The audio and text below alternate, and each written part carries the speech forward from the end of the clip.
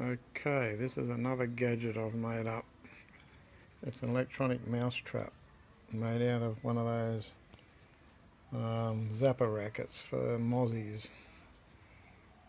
The mouse goes in here, pushes through that, steps on that grid. Once he steps on the grid, this sensor here, which I modified out of a, an old um, trail camera, goes like that.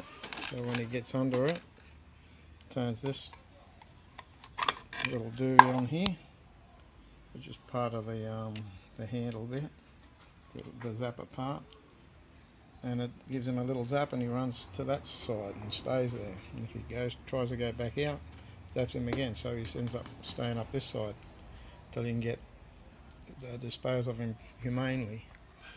I'll just show you how it works. There's a power supply here. I'll take this off so it's a bit easier to see. Turn it on. It's 12 volt. Can't see. 12.5.